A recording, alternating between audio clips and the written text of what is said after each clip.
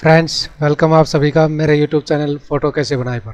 Friends आज के इस ट्यूटोरियल में सीखेंगे टेक्स्ट रैप कैसे किया जाता है किसी भी मौक़ के ऊपर।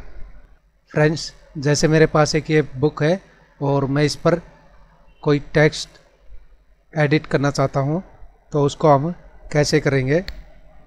लेकिन वो एडिटेबल टेक्स्ट होना चाहिए, वो कैसे करेंगे? आइए सीखते हैं। सबसे पहले हमें करना क्या है? यहाँ से शेप टूल लेना है। इसको यहाँ से इस तरह से शेप करेंगे और यहाँ लेयर में जाके इसको डबल क्लिक करके इसको वाइट कलर में चेंज करेंगे। ओके करेंगे और फिर यहाँ से राइट क्लिक करेंगे। इसको स्मार्ट ऑब्जेक्ट में कन्वर्ट करेंगे। और फ्रेंड्स मूव टूल लेंगे। फ्रेंड्स कंट्रोल टी करेंगे और इसको कंट्रोल दबा के इस तरह से पेज के कोने पे मिलाएँगे, चारों कोने।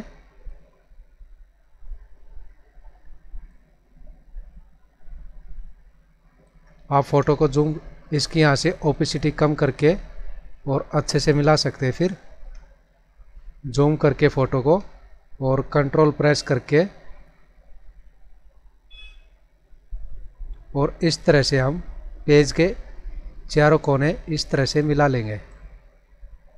और फिर फ्रेंड्स माउस से राइट क्लिक करेंगे व्रैप पे क्लिक करेंगे, और यहाँ से फ्रेंड्स इसको पकड़ के इसको इस तरह से करेंगे। इसको भी इस तरह से अपने पेज में सेट करेंगे। नीचे से ही फ्रेंड्स हमें इस लाइन पे लेके आना, ऊपर वाले पेज पे इस तरह से लेके आएँगे। और फिर इसको पकड़ के इस तरह से इसमें लेके आएँगे। और फ्रेंड्स यहाँ से राइट पे क्लिक करेंगे। अब फ्रेंड्स डबल क्लिक करेंगे यहाँ अपने रेक्टेंगल पे। तो इस तरह से हमारा ये न्यू शेप आ जाएगी अलग से। और फिर हमें टूल इसमें जाना है टाइप टूल में।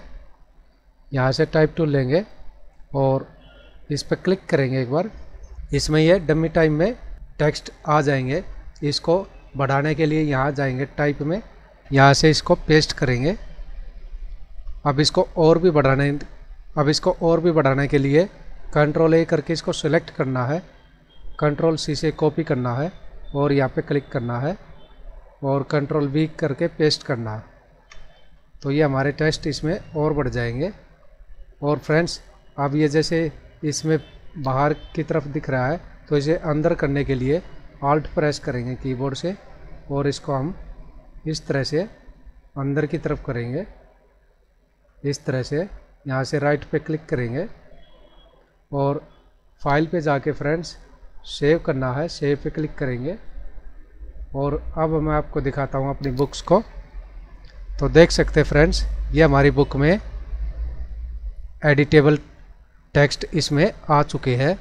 अब यहाँ से हमें इसको नॉर्मल की जगह मल्टीप्लाई करना है ताकि ये बुक के कलर में मिक्स हो जाए और इसकी ओपेसिटी को 100 पे कर देना। तो फ्रेंड्स आप देख सकते हैं, ये हमारे पहले वाली बुक है और ये हमने जो अभी टेक्स्ट इसमें एडिटेबल किए हैं, वो है। फ्रेंड्स अगर इसका आप कलर चेंज करना चाहते हैं तो यहाँ पे फिर से डबल क्लिक करेंगे। और इसको हम यहाँ पे सिलेक्ट करेंगे। कंट्रोल ए से इसको सिलेक्ट करेंगे।